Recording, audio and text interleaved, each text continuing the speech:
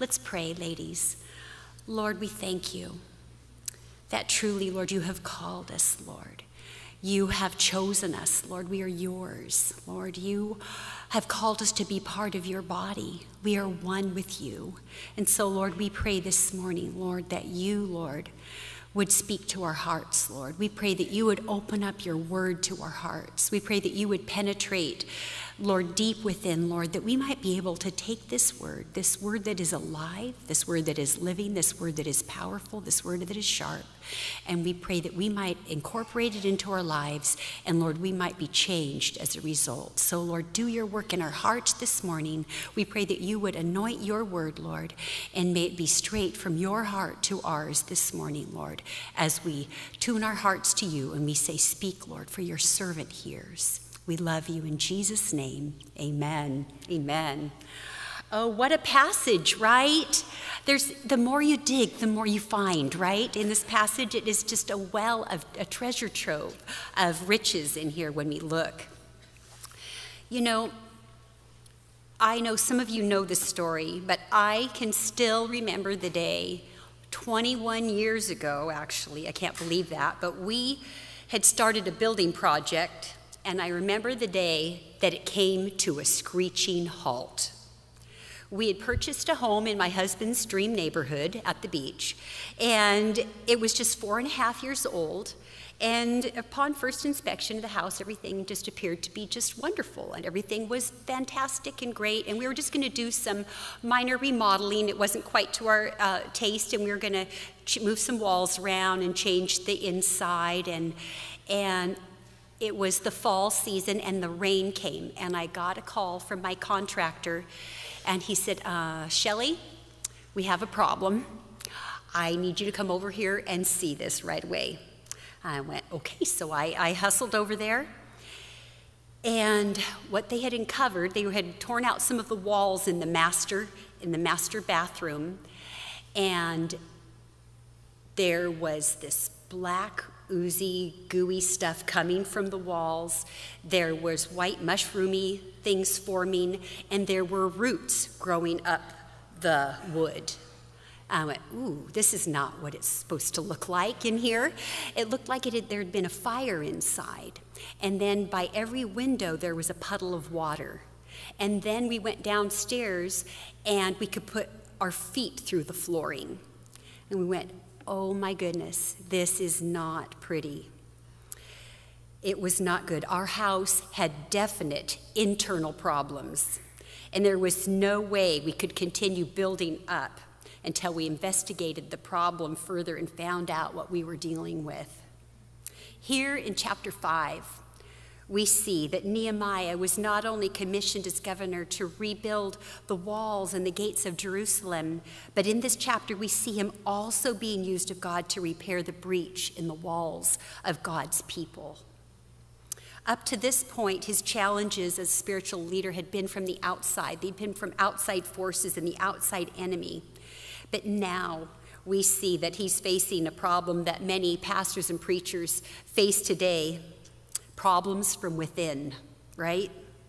I've entitled this message today, Internal Affairs. You know, we see how here with Nehemiah, the enemy wasn't effective from the attacks from without, so now he tries a different approach an attack from within. Brother versus brother. You know, how many of you seen the TV show with that same title? I have. There's a show on, on HGTV called Brother versus Brother. And it's a great show with two identical twin brothers. And they go out there and they have a, um, they have a construction project and they see who can make the most profit. You know, that might be a great name for a TV show, but it's not supposed to be in the body of Christ. The Christian walk is not a competition amongst brothers. We're a family, a team. There should be no verses between brother and brother, right? I remember my grandson used to always ask me, Who are they versus? And I went, What does that mean? He meant, Who are they against? That means against. It's brother against brother. There should be no brother versus brother. The enemy would love to stifle the work of God as we're so consumed with infighting that we lose sight of the goal. and that's to reach this lost world for Jesus Christ, for those that are hurting, that those, those that need a touch from Him.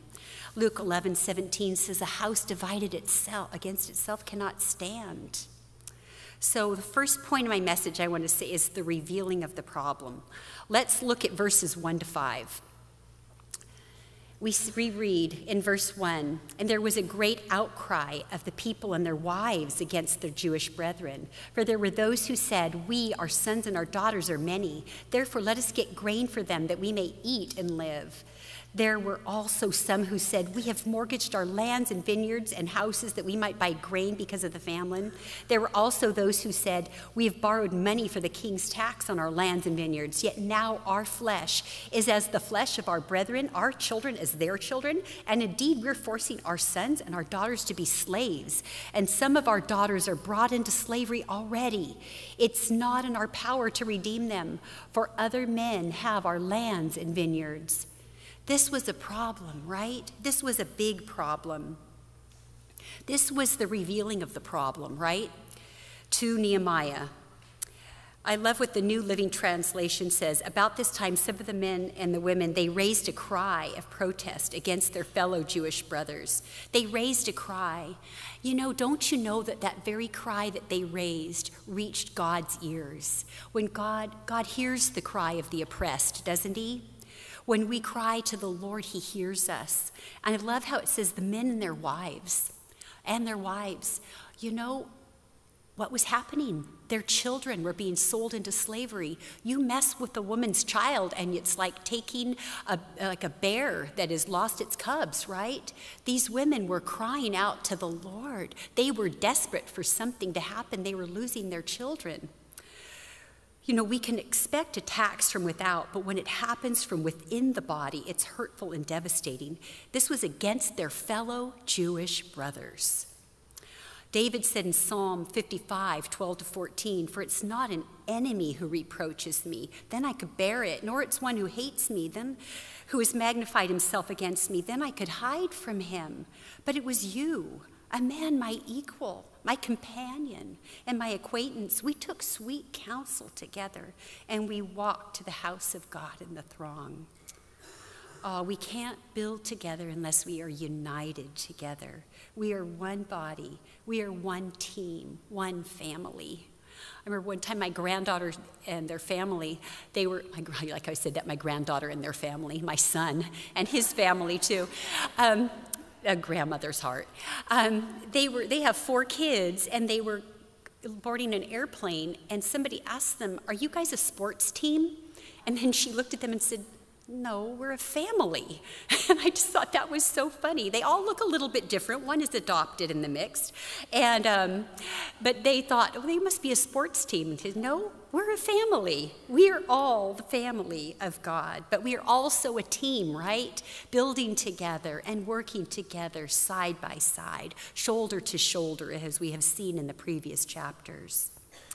Ephesians 4 15, 16 says, Christ from whom the whole body, joined and knit together by every joint supplies, according to the effective working by which every part does its share, causes growth of the body for the edifying of itself in love. We are to build each other up in the love of Christ. I love Psalm 133 1 says, Behold, how good and how pleasant it is for brothers to dwell together in unity. Oh, God wants us to be a united front. He wants us to be one in Him. So we see these three groups of people. What was their cry?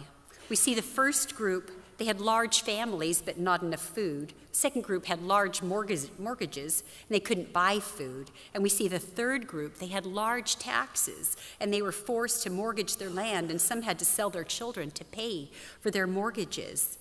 The rich were destroying their brothers who had been redeemed from slavery and forcing them back into slavery once again. They were taking advantage of their desperate situation out of selfishness and self centeredness. They were using them for their own personal gain by selling their loans with exorbitant in interest rates. We see how in, the, in our lesson we talked about it too, but how the law strictly forbade these practices. But I just want to look at one of those scriptures here. It says, Exodus 22 25 says, If you lend money to any of my people who are in need, do not charge interest as a moneylender would. If you take your neighbor's cloak as security for a loan, you must be, return it before sunset. This coat may be the only blanket your neighbor has. How can a person sleep without it? If you do not return it and your neighbor cries out to me for help, then I will hear, for I am merciful. Do you love that? That is the Lord caring about one person who doesn't have a coat at night. And he is crying out. That cry of the oppressed reaches his ears, and he says he hears, for he is merciful. He cares whether you're warm at night. He cares about that one, that one person who may not have a blanket. He says, return it. Don't you care? Don't you have compassion? I do.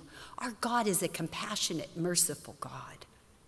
Leviticus 25 says, if, and starting in verse 35, if one of your fellow Israelites falls into poverty and cannot support himself, support him as you would a foreigner or a temporary resident. Allow him to live with you. Don't charge interest or make a profit at his expense. Instead, show your fear of God by letting him live with you as your relative.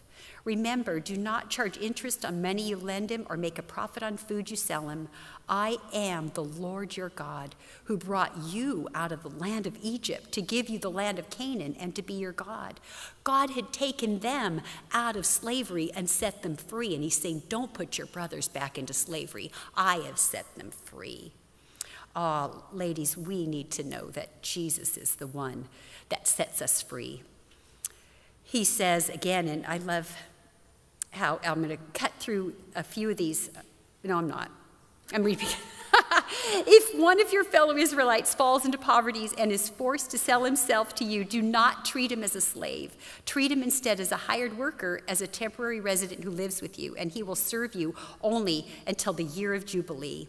At that time, he and his children will no longer be obligated to you, and they will return to their clans and go back to the land originally allotted to their ancestors. The people of Israel are my servants, whom I brought out of the land of Egypt, so they must never be sold as slaves. Show your fear of God by treat, not treating them harshly. We are to show our fear of God in all of these dealings. The building of this wall, did it create these problems? Did it create these problems amongst these brothers? No, it didn't, did it? It didn't cause the problems. The problem was already there. The building process just revealed it, didn't it?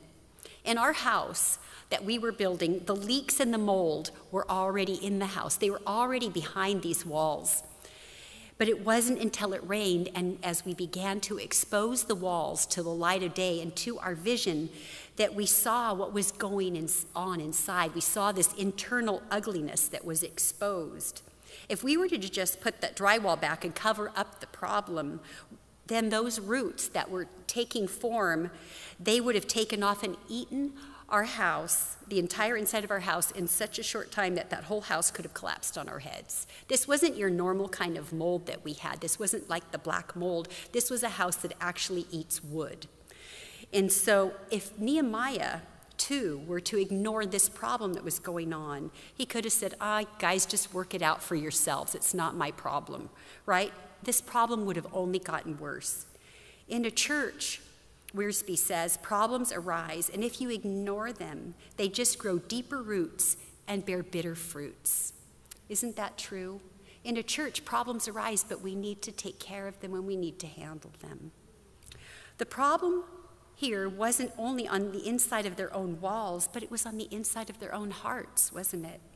The problem lied with the fact that they were being selfish. There was selfishness. And you know what? If you think about that, isn't that actually the root of all of our problems?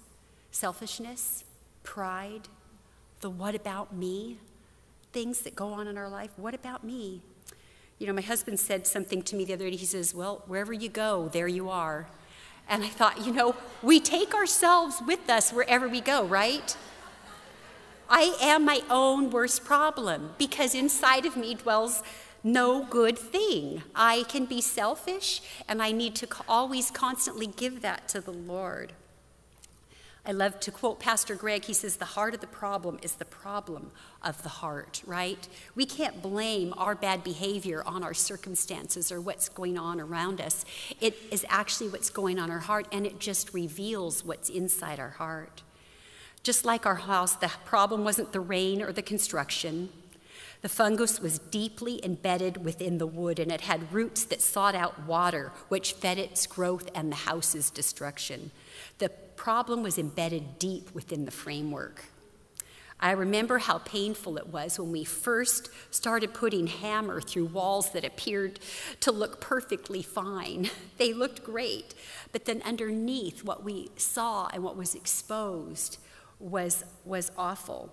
I could see, we tore out a bathroom, and when we water tested the roof, we could see water skipping down the two by fours like a, like this, like a waterfall. It was coming in so hard.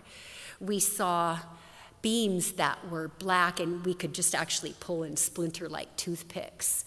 We saw um, our cupboards, the back of all the cupboards had to come off, and we saw black, we saw this black oozy mold.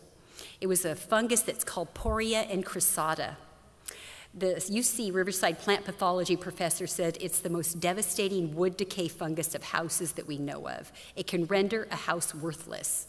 Within a year, it can destroy a house. It can grow as much as an inch a day inside the walls and floors, never noticed until it breaks out into view.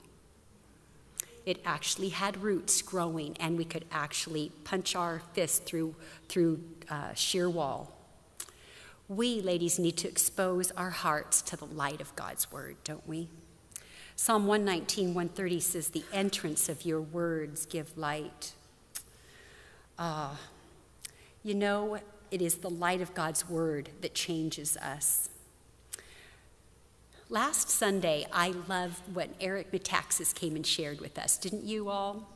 When he shared with us about Martin Luther, and I had just been reading about him for this study a little bit.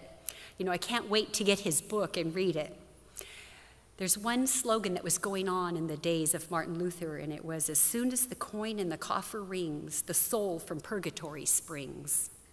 Martin Luther, as he began to read the Bible for himself and discover the truth of God's word, he could no longer go along with these indulgences that were conning the people out of the money as they were told that they could purchase a pardon from God that would purge them from a place called purgatory.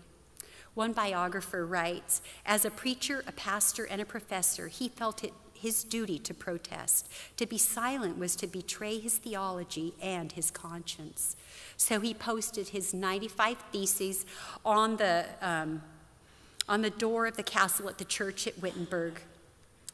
And when he did that, it was a chain reaction that started that set into play a movement that would change the whole world, even up to this present day.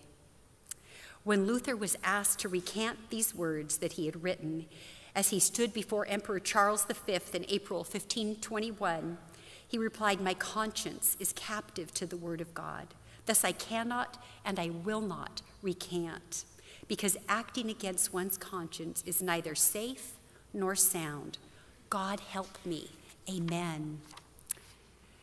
He knew that he couldn't go against the word of God, and he needed to bring to light what the, this injustice that was happening, just to see the hearts of the people needed to change because he saw that you couldn't buy God's forgiveness. You couldn't buy this with money in, a, in, the, in the coffer. And he saw the injustice that was being done to the poor to benefit those that were already rich. Well, Nehemiah was made aware of the problem that was going on around him, too. As the people raised a cry that reached God's ears, it was brought to Nehemiah's attention, too. He was pretty new on the scene and probably was previously unaware of the situation, but the Lord knew, and he wanted to deal it, with it, so he brought the situation to light. So, in our second point, we see how Nehemiah exhibits this righteous indignation. We read in verse 6 how he became very angry when he heard their outcry, when he heard these words. You know, this wasn't a hissy fit or a temper tantrum, this was righteous indignation at the abuses that were taking place amongst brethren.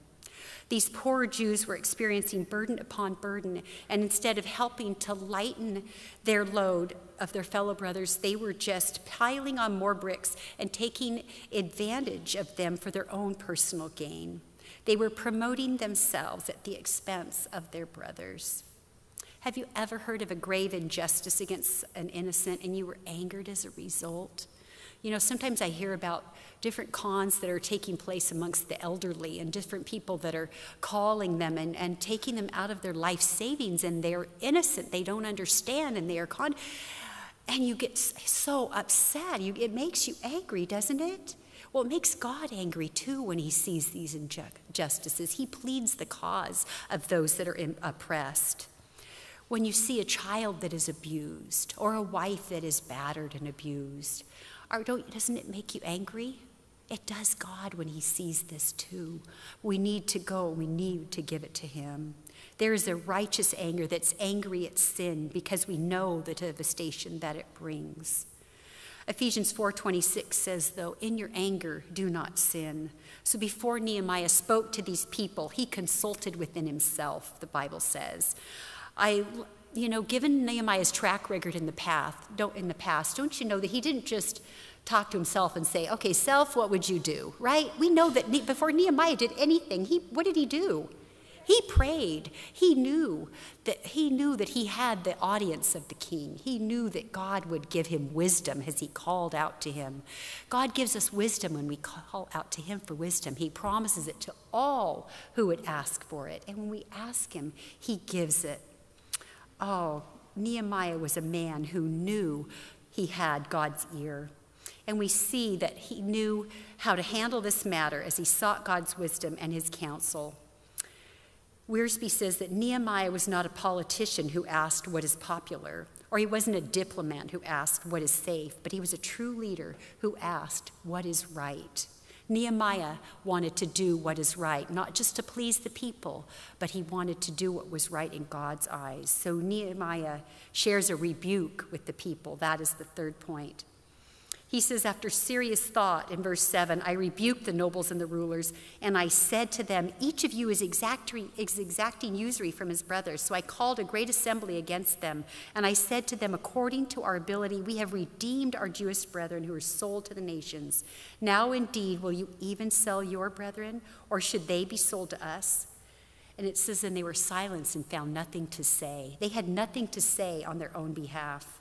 And he said, What you're doing is not good. Should you not walk in the fear of our God because of the reproach of our nations, our enemies?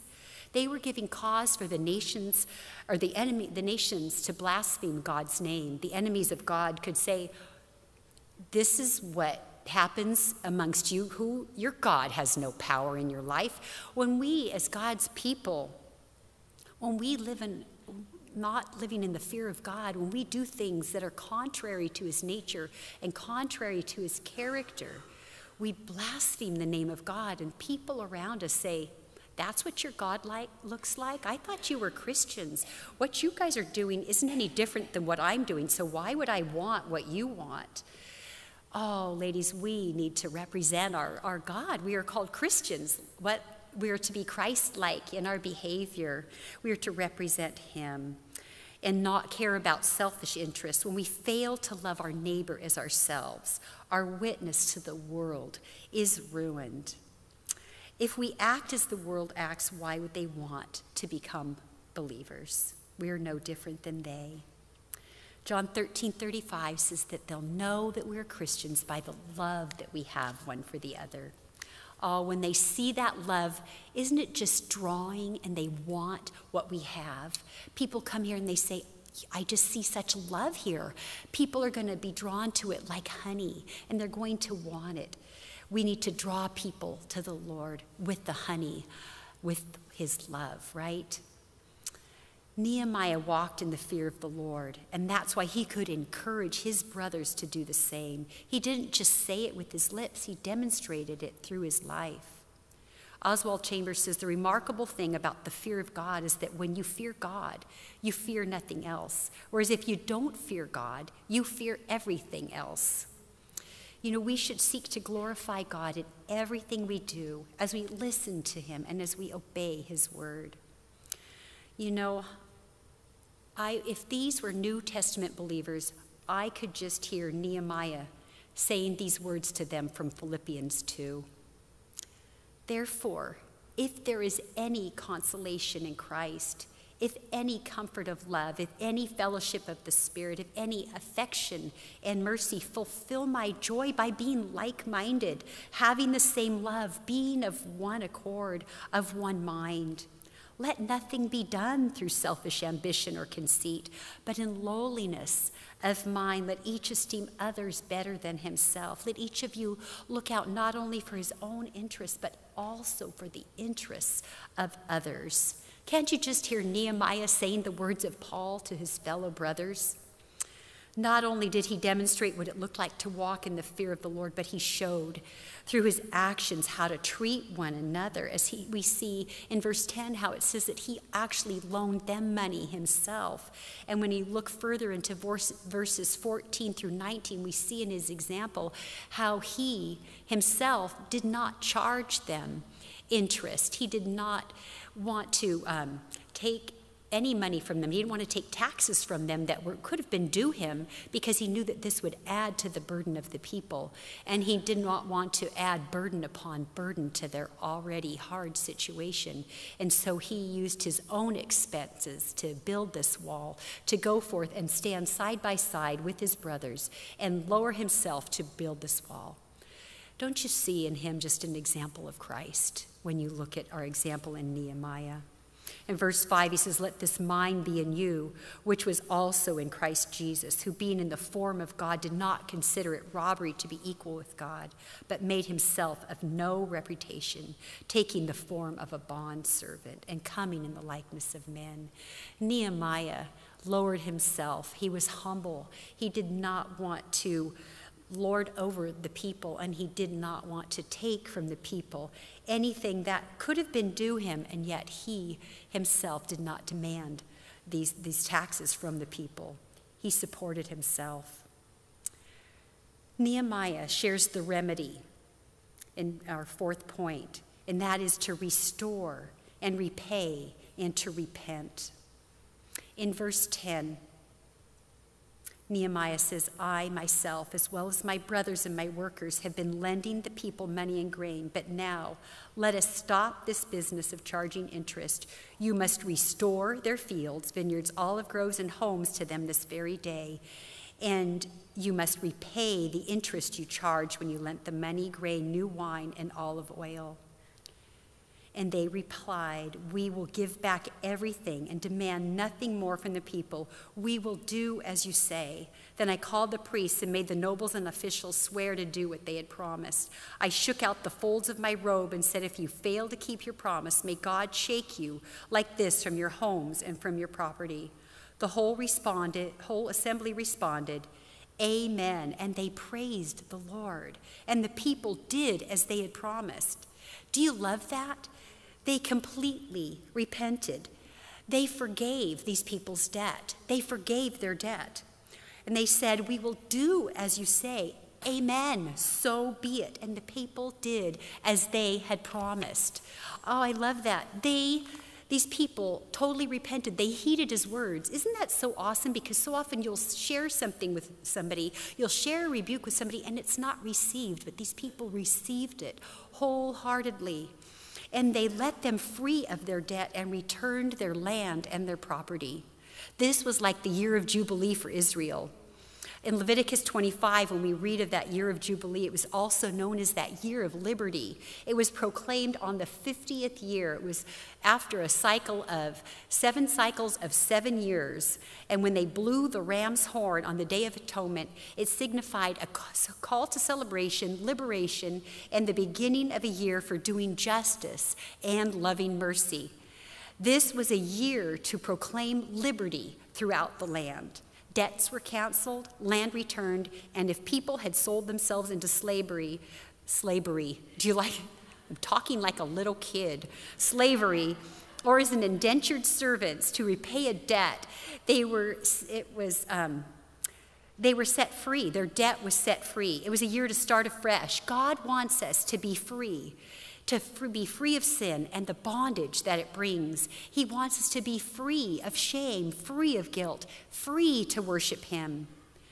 You know, our freedom was bought at a great price, was it not?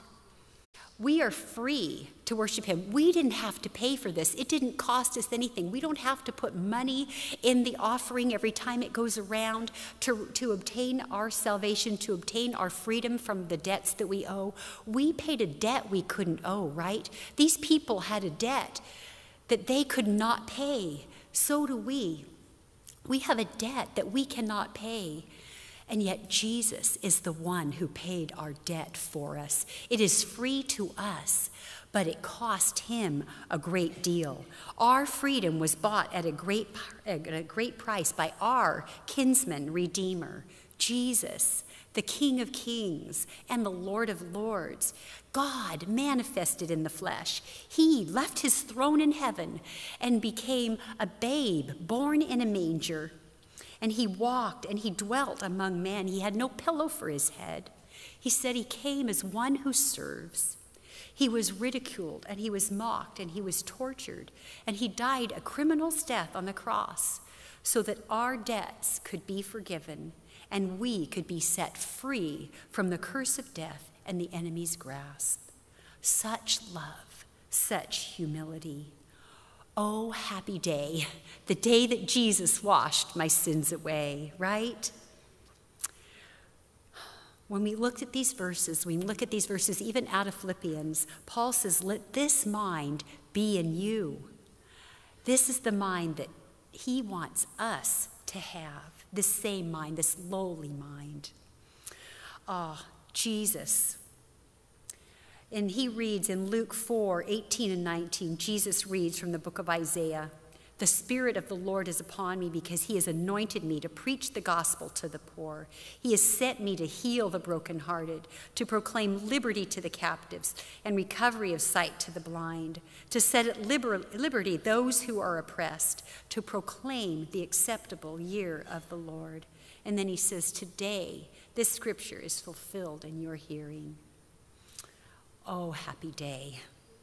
He who the Son sets free is free indeed. And then Jesus asks us to forgive us. Uh, he asks us to pray in the Lord's Prayer. He says to, we are to pray, forgive us our debts as we forgive our debtors. He calls us to forgive others the same way we've been forgiven, right? Jesus came and he forgave us of all of our sins, past, present, and future. He doesn't recall them to our account any longer. He casts them as far as the east is from the west. He, posts, he puts them into the deepest sea and he posts a no fishing allowed sign, doesn't he? He says he doesn't recall our debts to us our sins to us any longer. And that is the way he says that we are to forgive the debts of others. There's freedom as we forgive the debts of others. There's freedom in forgiveness. Not only are our debtors set free, but as we forgive the debts of others, we are also set free. As we let them out of debtor's prison, we ourselves are let out of our own prison, right? That prison of bitterness, that prison of resentment, that, that prison of, of anger, and we can release it to the Lord and we can say, Lord, it's yours, it's gone, and we need to forgive others as we too have been forgiven, to forgive the debts of others. You know, ladies, if we live and try only to satisfy our own needs and our own greeds, it's like trying to fill an endless well from the bottomless pit. It's never satisfied, right? We are never satisfied, but there is joy and there is freedom when we operate in the light of this Philippians 2 passage, when we put the needs of other people above our own. When I put my husband's needs above my own, when I'm like, when you can be so tired and maybe they need something, you to, you to do something for them, or you want to minister to your husband, and just whether your own needs are met or not, or your children. We, need to, we are constantly ministering to the needs of our children. You know, I've heard one phrase that says, You'll know how much of a servant you are when you're treated like one? Are we, do we truly have that servant's heart? Maybe in our home we're treated like a servant and a slave, and all of a sudden we get, wait, I don't like that. It can cause us to bristle up. That God wants us to be servants of all. He says, We are servants of all, we are great in his kingdom. There's power. These people repented fully. There's power in repentance, isn't there? D.L. Moody says, A man is born with his face turned away from God. When he truly repents, he is turned right around and faces God. Repentance is a change of mind, a change of heart, and it results in a change of action. When we turn from our sin, when we turn from the wrongdoing, we turn to God. We turn and we follow after Him and we follow after His ways. We need to submit to God. We need to resist the devil and he will flee for us. James says, Draw near to God and he will draw near to you. Cleanse your hands, you sinners. Purify your hearts, you double minded. Lament and mourn and weep. Let your laughter be turned to mourning and your joy to gloom. Humble yourselves in the sight of the Lord and he will lift you up. You know, I thought about when, you know, it was probably very painful for them to have their, these sins exposed in the midst of the whole congregation when Nehemiah told them what they were doing was wrong. What you're doing is not good in front of everybody. When we have our sins exposed to the light of the Lord, it hurts, right? It's painful. But when we expose our deeds to Him, we can know that God, who hears these confessions, as we confess our sins to Him, He is faithful and just to forgive us our sins and to cleanse us from all unrighteousness. We don't need to fear coming to Him with our sins. We don't need to fear coming to our merciful God. We don't need to fear coming to Him as we pour out our hearts, as we break our hearts before Him. He is the one that lifts us up. Psalm 51:17 says, The sacrifices of God are a broken spirit, a broken and a contrite heart, O God, you will not despise. When we are broken before God, when we come before Him and we tear our heart before Him, He is the one that lifts us up. He is the one that wants to heal us. We need to ask God to search our hearts.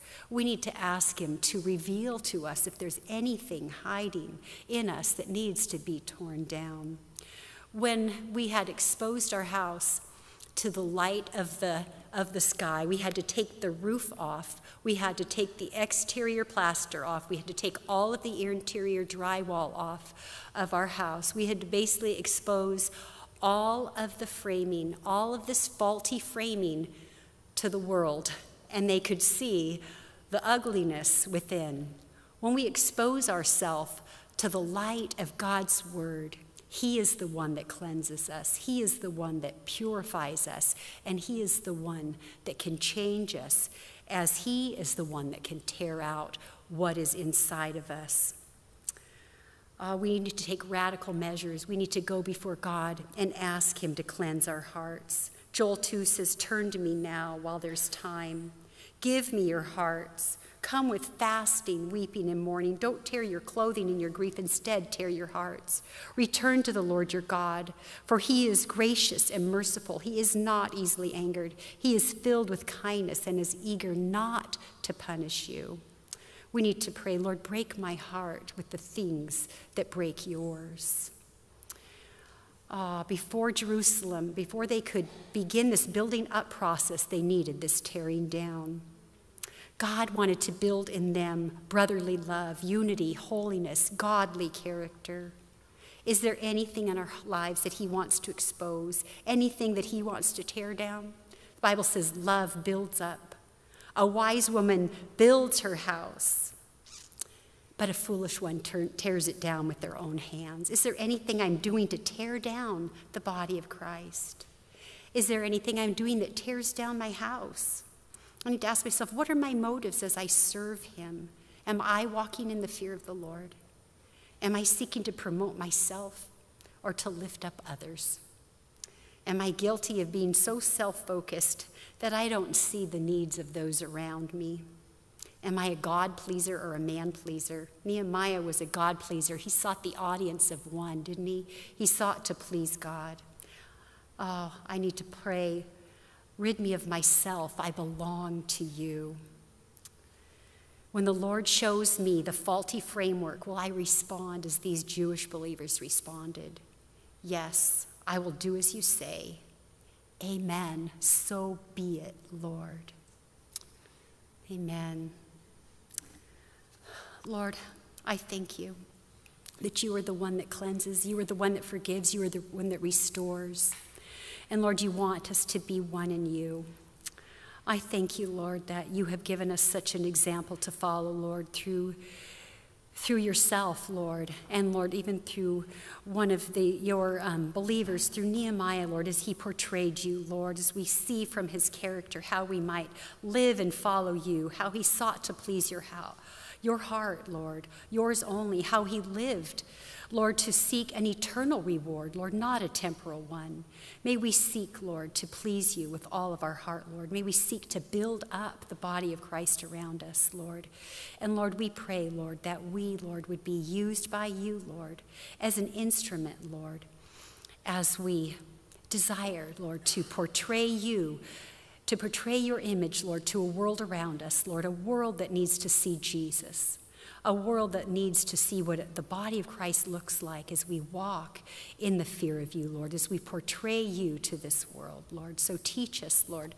Show us, reveal to us, Lord. And, and Lord, if we pray, Lord, if we are holding on to any unforgiveness, Lord, of other people's, if we are not forgiving any debts that are owed to, that we feel are owed to us, Lord, we pray, Lord, that you, Lord, would just, Lord, cleanse us of that sin too, Lord. We pray, Lord, that you would release us, Lord. Release us out of this debtor's prison, Lord. We thank you, Lord, that you proclaim a year of jubilee, Lord, to all of us, Lord, that you, Lord, have set us free. May we walk as the king's kids, Lord. May we walk as children who have been set free, Lord, by the power of your blood, Lord. Thank you that you paid the price, Lord, so that we don't have to. We love you, give you the glory, honor, and praise, Lord. And we pray, Lord, that all we say and all that we do would be motivated by this love, by your love, would be controlled by your truth, Lord, and would be done to the glory of God. We love you in Jesus' name. Amen. Amen.